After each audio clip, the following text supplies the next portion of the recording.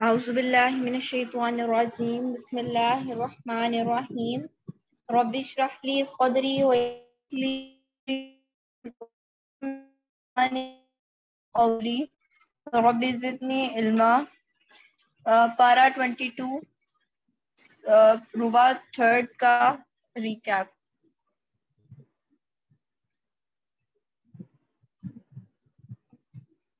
बिस्मिल्लाहिर्रहमानिर्रहीम सूरत सबा, आयत नंबर 31 से 54 बिस्मिल्लाहिर्रहमानिर्रहीम वक़ालल्लज़ीना कफ़रू, और कहा उन लोगों ने जिन्होंने कुफर किया, लन नुमिना बिहाज़ल कुरआनी, हरगिज़ हम ईमान नहीं लाएँगे इस कुरान पर, वला बिल्लज़ी बैना यदई, और ना उस पर जो इससे पहले है। वला उतरा इज़्ज़ालिमूना और काश आप देखते जब ये जालिम लोग रब्बिहिम, खड़े किए हुए होंगे अपने रब के पास, यानी कि क़यामत के दिन, जब वो अपने रब के सामने पेश किए जाएँगे। अलकौल रद्द कर रहा होगा उनका बाज बाज की बात का। यकूलजीन कह रहे होंगे वो लोग जो कमज़ोर समझे गए उन लोगों से जो बड़े बने हुए थे।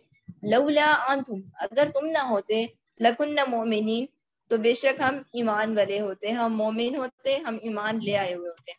अब यहाँ पर अल्लाह ताला एक क्यामत के जो है वो पूरा वो नक्शा पेश कर रहे हैं कि जब क्यामत, जिन लोगों ने कुफर किया ना, आज दुनिया की ज़िंदगी में उन्होंने कहा कि हम कुरान पे ईमान नहीं लाएँगे और नबी को झुटलाते रहे तो जब क्यामत के दिन वो खड़े किए जाएँगे ना तो उनका बास बास पर इल्ज़ाम लगा रहा होगा, जो कमज़ोर तबका होगा, जो दुनिया में कमज़ोर था, जिसके ऊपर हाकिम लोग थे, वो हाकिमों पर इल्ज़ाम लगा रहा होगा अपने या काफिर हाकिम जिनके ऊपर मुसलत हुए हुए थे तो उनसे कहेंगे कि तुम तुम्हारी वजह से हम जो है वो ईमान नहीं लाए। अगर तुम लोग हमारे ऊपर ना होते तो हम आज मोमिन होते कहा उन लोगों ने जो बड़े बने हुए थे उन लोगों से जो कमज़ोर समझे गए हुदा, क्या हमने रोका था तुम्हें हदायत से? बाद बाद इसके, इस जबकि वो आ गई थी तुम्हारे पास, बल्कि तुम मुजरिमीन बल्कि तुम खुद ही मुजरिम थे। अब जो ऊपर वाला तबका है हुक्मरानों का, वो उनसे कह रहे होंगे कि, क्या हमने तुम्हें रोका था, हदायत जिसके बाद जब तुम्हारे पास आके तुम खुद ही मुजरिम थे? वक़ाल और कहेंगे वो लोग जो कमज़ोर समझे गए उन लोगों से जो बड़े बने हुए थे, बल मकरुल्लैली व नहारी, बल्कि तुम्हारी रात और दिन की चालबाजी ने हमें रोका था। इस तामुरूना जब तुम हुक्म देते हमें अनकुरा बिल्लाही कि हम कुफर करें, अल्लाह ताला के साथ, व नजअला लहू अंदाद और हम ठहराएँ उसके लिए शरीक। वासर और वो छुपाएँगे नदामत को। लम्मा जब राबुल वो देख लेंगे अजाब को। अगलाल, और हम कर देंगे, यानी डाल देंगे तो फ़ी अगना, आगन उनकी में। अल्लाजीना, किन लोगों की गर्दनों में? कफर, जिन्होंने कुफर किया। हर युजौना नहीं, वो बदला दिए जाएँगे। इल्ला माकान या मगर उसी का वो जो अमल करते थे। अब यहाँ पर जब वो नीचे वाला तबका ऊपर पे इल्ज़ाम लगा रहा है कि अगर तुम ना होते तो हम मोमिन होते, फिर ऊपर वाले आगे से कह रहे हैं कि हमने तो तुम्हें हदायत से नहीं रोका, तुम हदायत ले आते। तुम लोग तो हमसे ज़्यादा थे तादाद में। अगर तुम लोग इस्लाम कायम करना चाहते तो तुम्हारे लिए कोई आसान काम नहीं था। अगर तुम लोग हमें नजरान और टैक्सेस वगैरह ना पे करते तो फिर हम हम तो मुफ़्त होते हमारे पास तो कोई ताकत, दौलत कुछ रहता ही ना। तुम लोग की वजह से ही तो हम लोग थे तुम्हारे दम से। अगर तुम लोग ईमान लाना चाह रहे होते और इस्लाम कबूल करना चाह रहे होते इस कुरान पे और नबी पर ईमान ला रहे होते तो तुम्हारे लिए तो कोई मुश्किल नहीं था कि तुम लोग हमें हटा देते और ईमान ले आते। और जो फिर कमज़ोर लोग होंगे, वो कहेंगे, जो बड़े थे कि तुम लोग ही हमें दिन रात की चालबाजियों में लगाते थे और हमें हुक्म देते थे कि हम ऊपर करें और हम अल्लाह के रास्ते पर ना जाए। तुमने ने हमें आके लगाया हुआ था। तुम्हारे एक काम पर हम चलते रहे थे मतलब उनका बास जो है, वो बास को इल्ज़ाम दे रहा होगा और कोई भी अपनी गलती नहीं मान रहा होगा। नजीर, और नहीं हमने भेजा किसी बस्ती में कोई डराने वाला।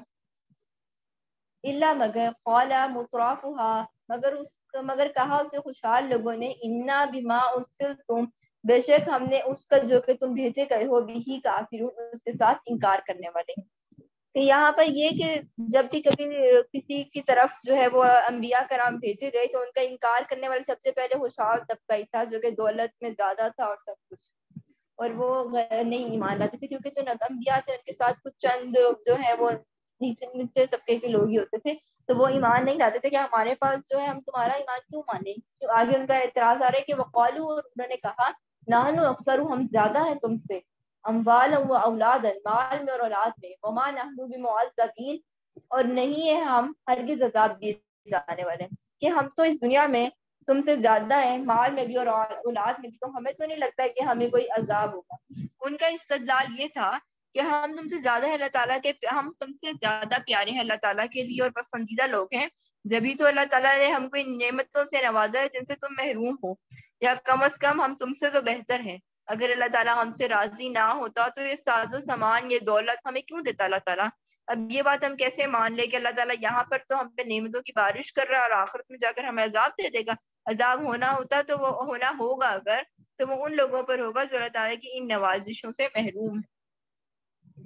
कुल कह दीजिए, इन्ना बेशक मेरा रब भी कुशादा करता है रिस्क को लिमन ये शाह वास्ते जिसके वो चाहता है, वो यकतिरु और वो तंग करता है कि वही है जो जिसके लिए चाहे रिस्क बढ़ाता है, फैला देता है, ज़्यादा कर देता है और जिसके लिए चाहे वो रिस्क कम कर देता है, तंगी कर देता है। वाला वलाकिन अक्सर नासिला यालमून और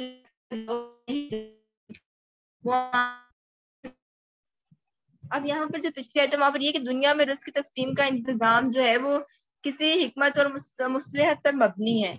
कि मतलब ये लोग जो है, वो तो कह रहे हैं ना कि अल्लाह ताला जो है वो हमें इतना कुछ दिया है और तुम लोग को नहीं दिया तो तुम्हें अजाब होगा। अगर हुआ, हमें तो नहीं होगा। तो अल्लाह ताला जिसके लिए कुछ अदा करना चाहता है, रिस्क उसे कर देता है। इसमें हर किस ये नहीं है कि अल्लाह ताला जिसको इस दुनिया में ज़्यादा रिस्क दिए बोला कि ना पसंदीदा लोग हैं।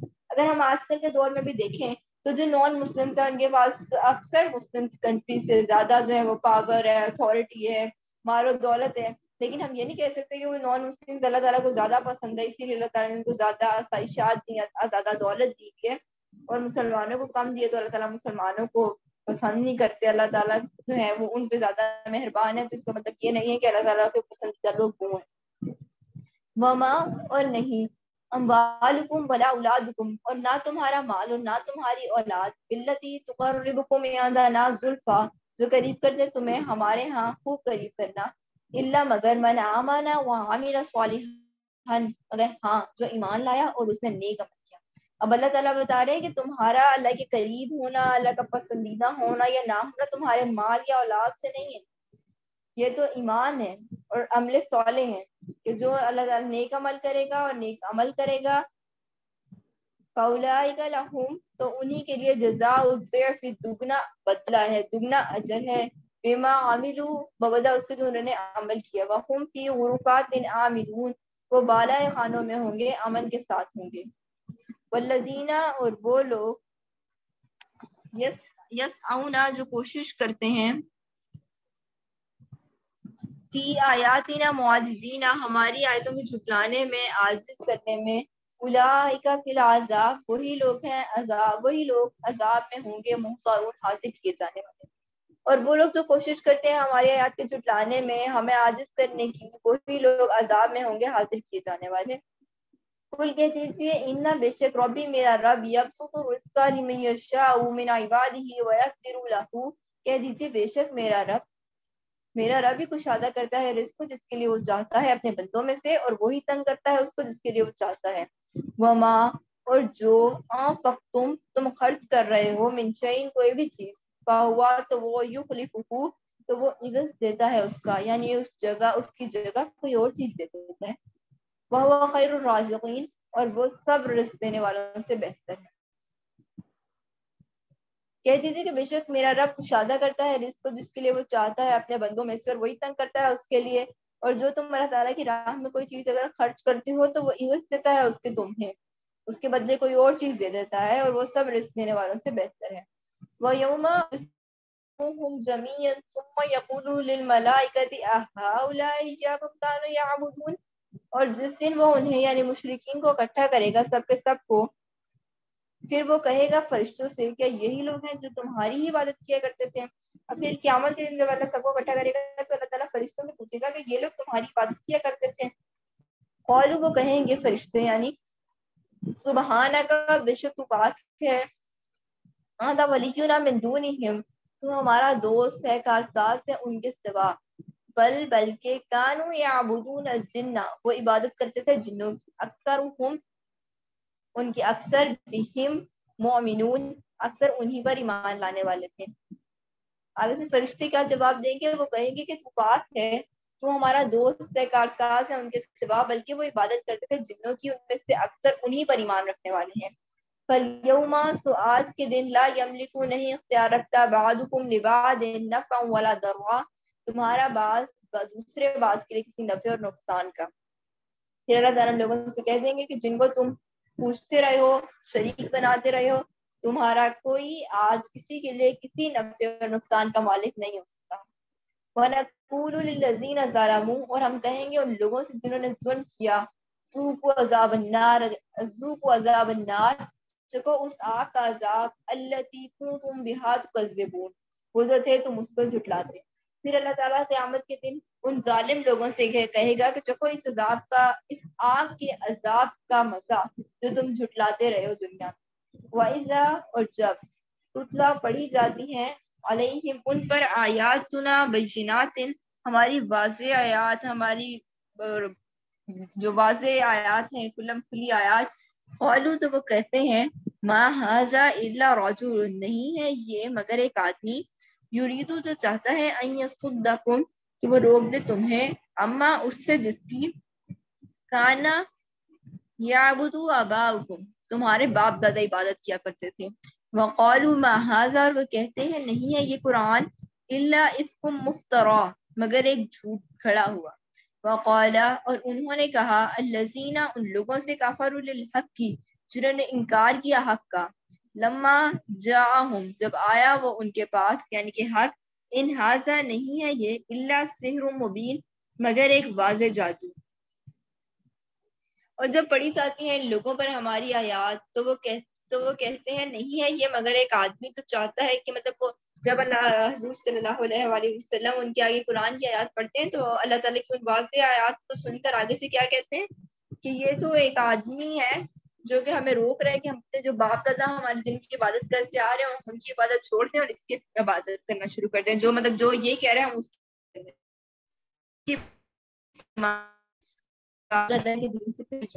और वो कुरान के बारे में क्या कहते हैं कि कि ये एक झूठ है खड़ा हुआ। और कहा उन लोगों ने, जिन्होंने इनकार हक किया, यानी हक का इनकार किया, जब वो आया उनके पास, कि ये हक नहीं है, ये तो वाज जादू है, कि ये जादू है खुला खुला। वमा, और नहीं आते ना मिन कुतुबिन, और नहीं हमने दी उन अरबों को कुछ किताबें या दुरुसूना हाँ ये वो पढ़ते हो उन्हें, वमा इलैहिम, और नहीं हमने भेजा उनकी तरफ़ कबला का आपसे पहले बिन नजीर कोई डराने वाला। और नहीं हमने दी उन अरबों को कुछ किताबें कि वो पढ़ते हों उन्हें, और नहीं हमने भेजा उनकी तरफ़ आपसे पहले कोई डराने वाला। अब यानी कि हज़रत ईसा आए थे ना, जो लास्ट नबी आए थे, कि उनके और आप के बीच में जितना टाइम पीरियड था, उस टाइम पीरियड के अंदर कोई भी ऐसी किताब, कोई सहीफा या कोई मतलब कि नबी नहीं आया जिन्होंने आके इनको आपके आने के बारे में कहा कि आपको ना माने ये लोग। तो मतलब ये है कि यानी इससे पहले ना कोई किताब खुदा उनकी तरफ़ आई है और ना कोई ऐसा रसूल आया है जिसने आकर उनको ये तालीम दी हो कि ये अल्लाह के सिवा दूसरों की बंदगी और परस्तिश है। इसलिए ये लोग इसे इनकी बिना पर नहीं, बल्कि सरासर जहालत की बिना पर कुरान और मोहम्मद वसल्लम की दावत तो का इनकार कर रहे हैं। इसके लिए, यानी इनकार के लिए उनके पास कोई सनद नहीं मौजूद। वकज़ब अल्लज़ीना मिन क़ब्लिहिम और जुटाया उन लोगों ने जो इनसे पहले थे वमा बालहू में अशारा और नहीं ये पहुँचे इसके दसवें हिस्से को। बीमा तैना जो हमने दिया था उन्हें।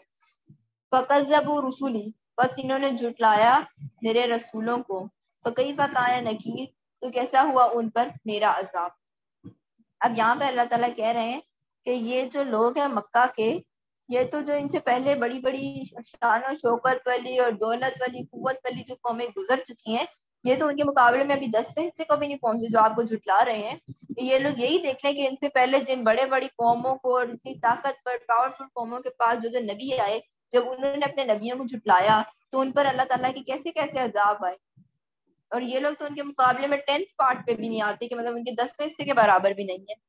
यानी मक्का के लोग तो इस कुत और शौकत और उस खुशहाली के जो है, वो उसके रुतबे तक अभी पहुँचे ही नहीं है, जो इन कौमों को हासिल थी। जो उनसे पहले गुजर चुकी हैं। लेकिन फिर भी देखो कि जब उन्होंने कौमों को झुटला, अपने नबियों को झुटलाया उन कौमों ने तो उन पर अल्लाह ताला की कैसे कैसे अजाब आए और ये आप फिर भी आपको झुटला रहे हैं। कुल कह दीजिए इनमा बेशक सिर्फ़ आइजुकुम विवाहिदतिन एक ही बात की मैं तुम्हें नसीहत करता हूँ हाँ तकूमुल्लाह कि तुम खड़े हो जो अल्लाह ताला के लिए मसना दो दो, व फुरादा, और एक एक करके, सुम्मा तफक करो फिर तुम गौर फ़िक्र करो मा मिन जिन्नतिन नहीं है, तुम्हारे साथी को कोई जुनून इन हुआ नहीं है वो इल्ला, मगर नजीर लकुम, तुम्हारे लिए डराने वाला। बैना यदई अजाब शदीद, एक सख्त अजाब से पहले। कि आप इनसे कह दीजिए, सिर्फ़ एक ही बात की मैं तुम्हें नसीहत करता हूँ, ये कि तुम खड़े हो जो अल्लाह ताला के लिए दो दो या एक ही पर फिर तुम सब गौर फ़िक्र करो कि नहीं है तुम्हारे इस साथी को जिसके बारे में तुम ये बात कह रहे हो, उससे कोई जुनून नहीं है। लेकिन वो तो सिर्फ़ तुम्हें डरा रहे अल्लाह ताला के उस अजाब से जो आने वाला है, उस अजाब से आने से पहले वो तुम्हें डरा रहे उस अजाब से अगर तुम नसीहत पकड़ लो। कुल कह दीजिए, माँ, साल तुकुम मिन कह दीजिए, जो मैंने मांगी हो तुमसे कोई उजरत फहुआ तो वो तुम्हारे लिए है, यानी वो तुम्हारी है। इन अजरिया अल्लाह नहीं है मेरा उजरत, मेरा अजर, मगर अल्लाह ताला पर शहीद, और वो हर चीज़ पर गवाह है। यानी कि इल्ज़ाम लगाने वाले जो कुछ इल्ज़ाम जो है, वो चाहे लगा रहे हैं ना, लेकिन अल्लाह ताला तो सब कुछ देख रहा है, वो सब जानता है, वो हर चीज़ पर गवाह है। मैं, मेरा कोई काम जो है, वो खुद गर्जी की बना पर नहीं है, मेरा तुमसे कोई गर्ज नहीं है। अगर तुम लोग नेकी और भलाई के रास्ते में चलोगे तो वो तुम्हारे लिए फ़ायदा मंद है। अब इसी तरह एक जगह पर कुरान में आता है कि आपके जिम्मे, यानी नबी के जिम्मे को सिर्फ़ पहुँचा देना है ठीक है? अब आगे जो लोग हैं, अगर वो वो मान के नेक अमल करेंगे तो वो उनके लिए फ़ायदा मंद है। और अगर वो गुमराही में भटक जाएँगे तो उसका वबाल उन्हीं पर नबी के जिम्मे सिर्फ़ पहुँचा देना तो यहाँ पर वही बात दूसरे फाजल में आ रही है कि कह दीजिए जो मैंने तुमसे मांगी हो, कोई उजरत तो वो तुम्हारे ही लिए है। नहीं है मेरी उजरत मगर अल्लाह ही पर और वो हर चीज़ पर गवाह है। कुल कह दीजिए इन न रबी बेशक मेरा रब ही दिल में यकजिफू बिल हक की डालता है हक को। अल्लाहूब वो पोशीदा बातों को खूब जाने वाला है। क्या आप कहती थी, बेशक मेरा ही रब दिल में डालता है हक को, वो पोशीदा बातों को खूब जानने वाला है। अब यहाँ पर इसका ये मतलब हो सकता है, एक माइन तो ये है कि वही के ज़रिए से वो इल्म हक मेरे ऊपर हल्का फरमाता है और दूसरे माइन ये है कि वो हक को गालिब कर रहा है और बातिल के सर पर हक की तरफ़ लगा रहा है।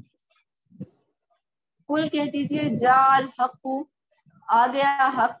वमा युब्दिउल बातिलु, और मबूद बातिल ना पहली मरतबा कुछ पैदा कर सकता था वमा यईदु और ना वो दोबारा कुछ पैदा कर सकेगा।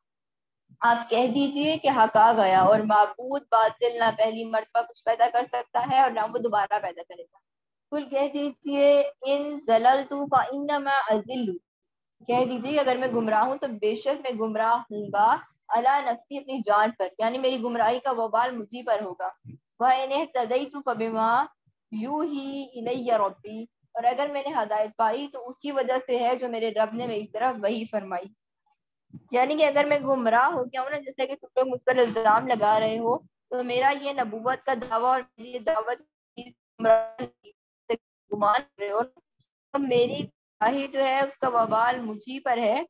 तुम उसकी ज़िम्मेदारी ना पकड़े तो तुम मतलब तुम लोग इसकी ज़िम्मेदारी में पकड़े नहीं जाओगे। क्योंकि अगर मैंने, तुम लोग ये कह रहे हो कि मैं गुमराह हूँ तो मैं अपने ऊपर ही गुमराह हूँ ना। तुम तुम लोगों का इसमें कोई काम नहीं आएगा, तुम लोग का नहीं लेकिन अगर मैं हदायत पर हूँ, जैसा कि मैं दर हकीकत हदायत पर हूँ तो इसकी वजह यह है कि मुझ पर मेरे रब की तरफ़ से वही आती है, जिसके ज़रिए से मुझे राह रास्त का इल्म हासिल हो गया है। मेरा रब करीब ही मौजूद है और वो सब कुछ सुन रहा है। उसे मालूम है कि मैं गुमराह हूँ या हदायत पर इन समी करीब। बिलाशुबा वो खूब सुनने वाला है और बहुत करीब है।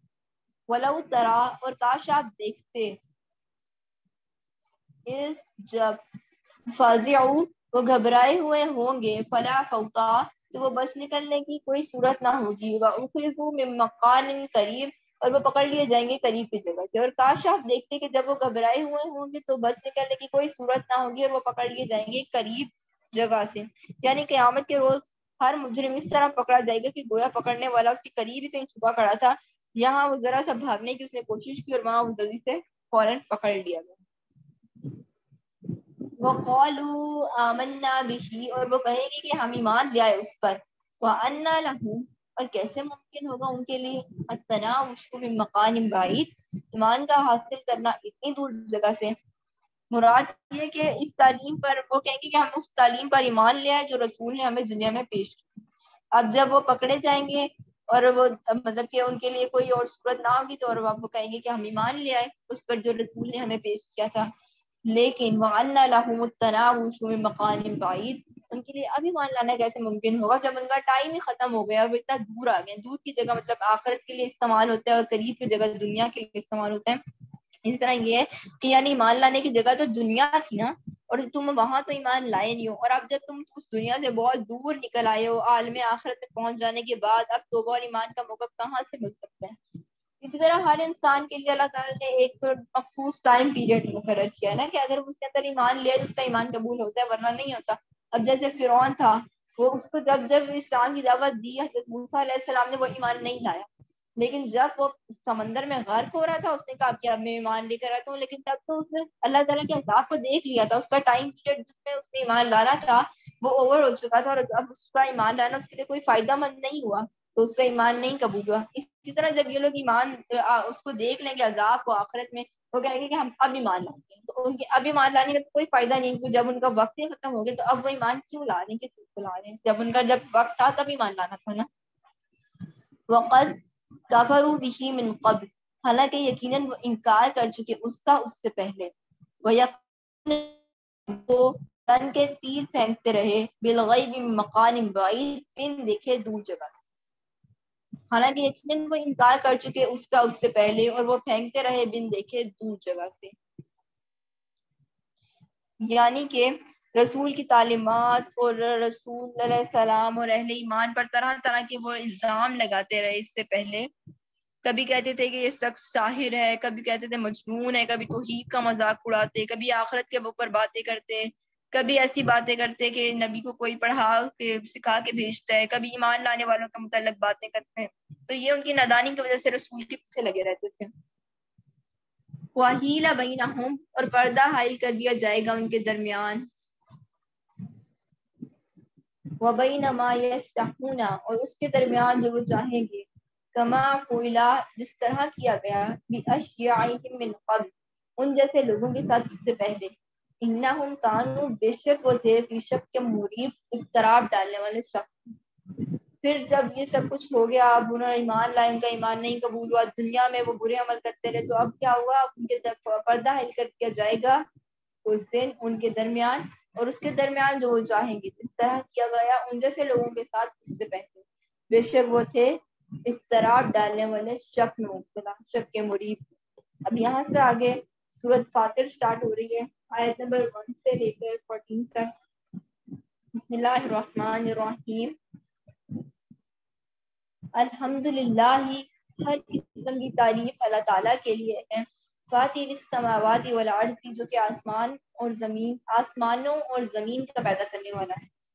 जाइल मलाइकत रसुलन, फरिश्तों को खासित बनाकर भेजने वाला है।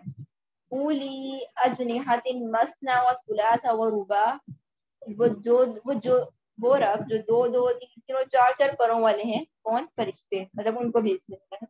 यजीद फिल खल की माशाऊ वो इजाफा करता है मखलूक में जो वो चाहता है।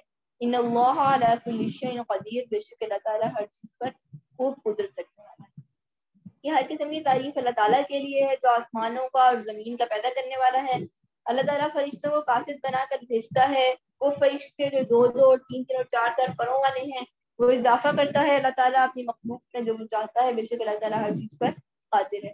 अब यहाँ पर जो फरिश्तों के बारे में पढ़ों का ज़िक्र आ रहा है, इससे ये समझा जा सकता है कि अल्लाह ताला ने फरिश्तों को डिफरेंट फरिश्तों को डिफरेंट ड्यूटीज़ असाइन की हर किसी का अपना मखसूस काम है, जिसने करना है। तो उस काम के लिए उनको जितनी रफ्तार चाहिए, वो चाहिए, उसके मुताबिक अल्लाह तला ने उनको दो दो, तीन दिन और चार चार परों वाले बनाए हैं, अपने स्पेसिफिक काम करने के तो इसमें थोड़ा सा वो उस, हम उस साइड में मतलब इसका मतलब कर सकते हैं कि दो दो, तीन तीन और चार चार परों वाले फरिश्ते बनाए हैं जैसा उनसे काम लेना मकसद।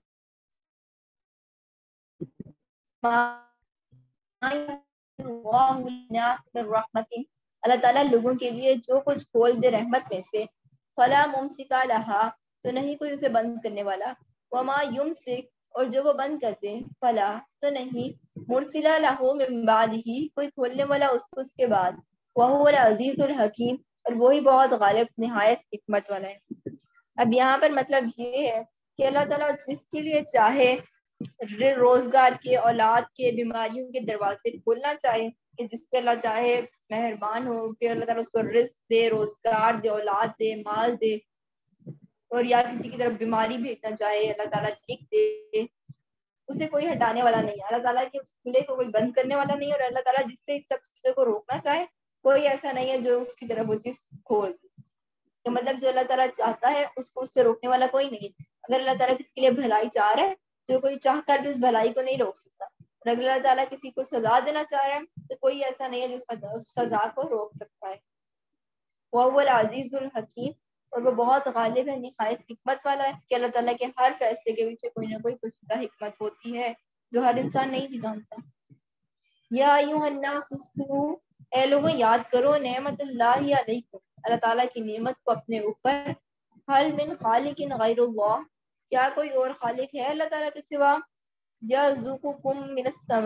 अर्दी, जो अर्ज़, जो रिस्क दे तुम्हें ज़मीन से और आसमान से। ला इलाहा हुआ नहीं है कोई मबूद मगर वही। अन्ना तो फकून तो कहाँ से तुम बहकाए जाते हो? यानी एहसान फरामोश ना बनो। इस हकीकत को ना भूलो कि तुम्हें जो कुछ भी हासिल है, उसको अल्लाह ताला का दिया हुआ है। अल्लाह ताला के सिवा कोई नहीं है जो तुम्हें ज़मीन और आसमान से दे। दूसरे अल्फाज में ये फ़िक्र इस बात पर तंबी भी कर रहे हैं कि जो लोग भी अल्लाह ताला के सिवा किसी और बंदगी करेंगे, प्रस्तिश करेंगे या किसी नेमत को अल्लाह ताला के सिवा दूसरी हस्ती की अता मानेंगे, या किसी नेमत के मिलने पर अल्लाह के सिवा का शुक्र अदा करेंगे, या किसी चीज़ को लेने के लिए किसी और से दुआ करेंगे तो बहुत एहसान फरामोश है।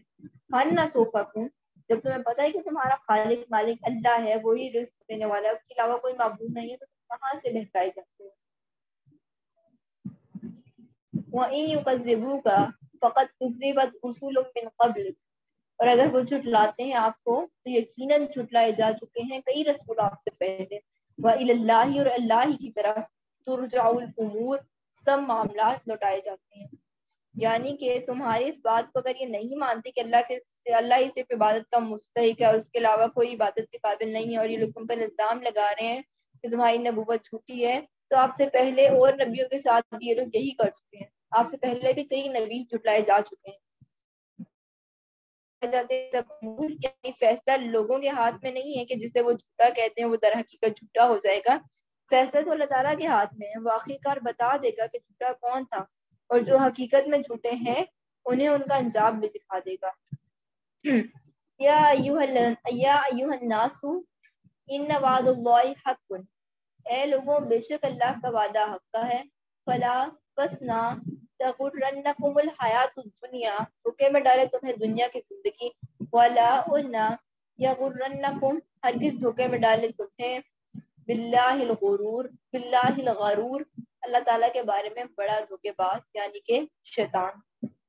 यहाँ पर वादे से जो सच्चा वादा के बेशक अल्लाह ताला का वादा सच्चा है, इस वादे से मुराद आखिरत का वादा।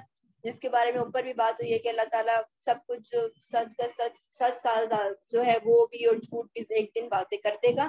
तो ये सच्चा वादा है अल्लाह ताला का क्यामत का। और हर किसी नाम को धोखे में डाले, दुनियावी ज़िंदगी किसी को और ना बड़ा शैतान। शैतान को यहाँ पर धोखेबाज कहा गया है कि वो इंसान को धोखा देता है तो शैतान और दुनिया की ज़िंदगी से धोखे में न डाले। अब दुनिया की ज़िंदगी धोखे में कैसे डालती है? यानी इस धोखे में कि जो कुछ है, बस इसी दुनिया में है और इसके बाद कोई आखरत नहीं है जिसमें अमाल का हिसाब होगा। या इस धोखे में कि अगर कोई आखरत है भी तो वो दुनिया में मज़े कर रहा है, उसको वहाँ भी मज़े मिलेंगे। ऐसा कोई तुम धोखे में ना रहो। जो नेक अमल करेगा उसके लिए जन्नत है। अल्लाह ताला का सच्चा वादा है और जो बुरे अमल करेगा, अल्लाह ताला उसको अजाब इन शैतान लकुम शैतान तुम्हारा दुश्मन है अदुबा तो तुम भी उसे अपना दुश्मन समझो इन्नमा यदु बेशक सिर्फ़ वो तो सिर्फ़ जो शैतान है वो तो इसलिए बुलाता है अपने गिरोह को सईर ताकि वो हो जाए अहले जहन्नुम से बेशक शैतान तुम्हारा दुश्मन है खुदा तो तुम भी उसे अपना दुश्मन ही समझो बेशक सिर्फ़ शैतान तो इसलिए बुलाता है अपने ग्रोह को ताकि वो हो जाए अहले जहन्नुम से अल्लज़ीना काफरू अज़ाबुन शदीद। बेशक वो लोग जिन्होंने कुफर किया, उनके लिए सख्त अजाब है। वल्लज़ीना आमनु अमिलुस और वो लोग जो ईमान लाए, और उन्होंने नेक अमल किए। लहुम मगफिरतुम व अजरुन कबीर। उनके लिए मगफिरत है और बड़ा अजर है। अफमन, क्या भला? जुयना लहू अमल ही तो क्या भला वो शख्स जो कि मुजयन किया गया, उसके लिए बुरा अमल? उसका बुरा अमल। फराहु हसनन, बस वो उसे अच्छा समझे तो हदायत याफ्ता हो जाएगा। तो बेशक अल्लाह ताला गुमराह करता है जिसे वो चाहता है। वयाहदी मैशाउ और हदायत देता है जिसे वो चाहता है। फला, बस ना तजहब नफ्स का, आपकी जान जाती रहे। अलैहिम हसरात, उन लोगों पर अफसोस करते हुए। इन अलीम बिमा बेशक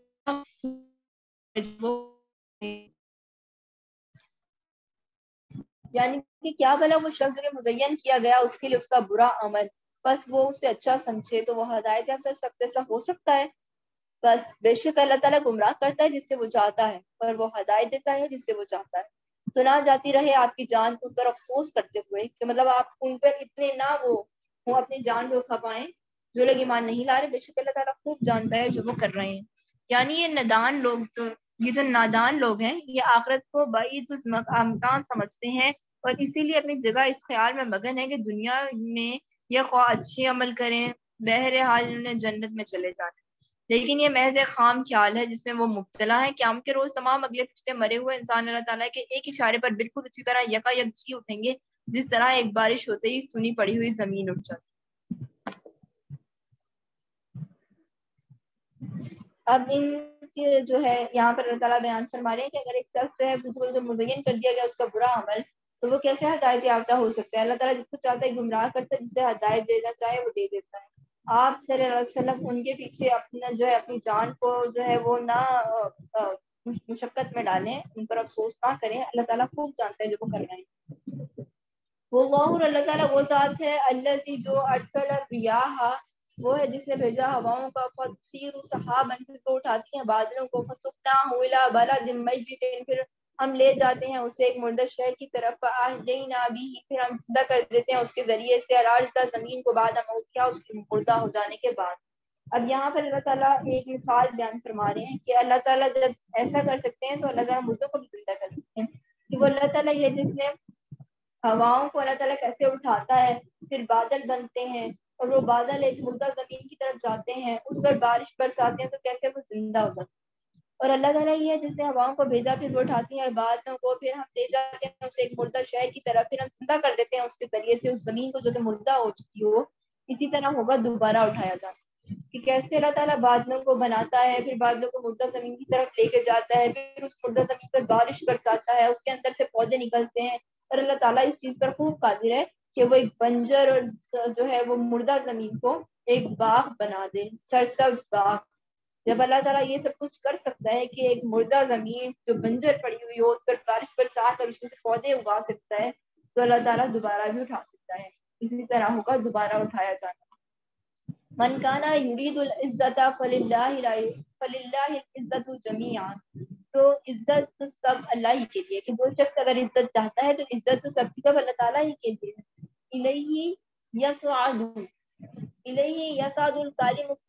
उसी की तरफ़ चढ़ते हैं पसंदीदा कलिमात। वला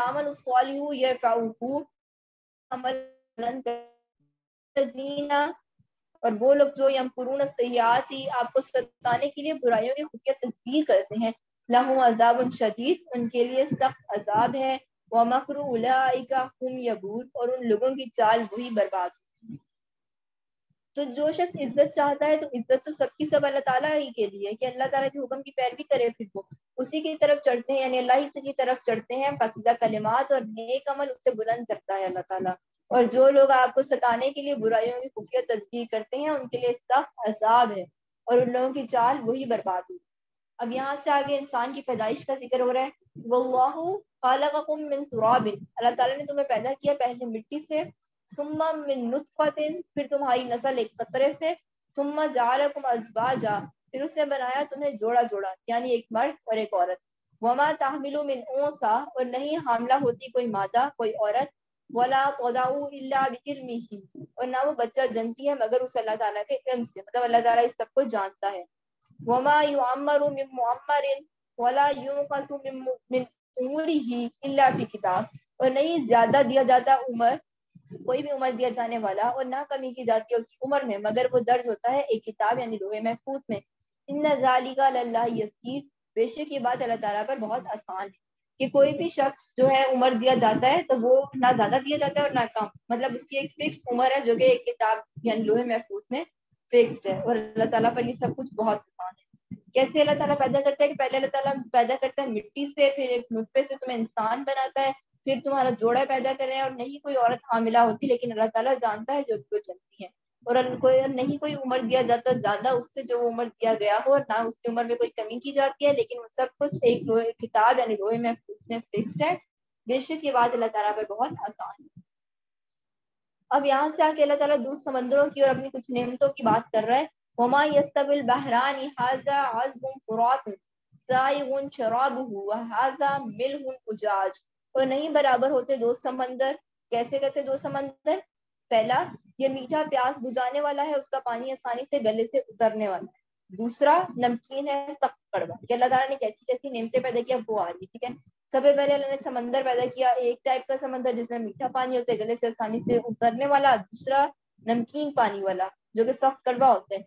वमिन कुल्लियन ताकुलून लहमन तरियन व तस्तखरिजून हिलियतिन तलबसून हा और उस समंदर में से निकलता है ताज़ा गोश्त मछली का जो तुम खाते हो और तुम निकालते हो जेवरात जो कि तुम पहनते हो उन्हें। मतलब समंदर होता है दो टाइप का, फिर उसमें से तुम्हें ताज़ा गोश्त मिल रहा है, फिर उसमें से तुम जेवरात जो पर्ल्स निकालते हो, ज्वेलरी में इस्तेमाल होते हैं। वतरल फुल्क फीही मवाखिरा लितबतगू मिन फदलिही वलअल्लकुम तशकुरून। और आप देखते हैं उसकी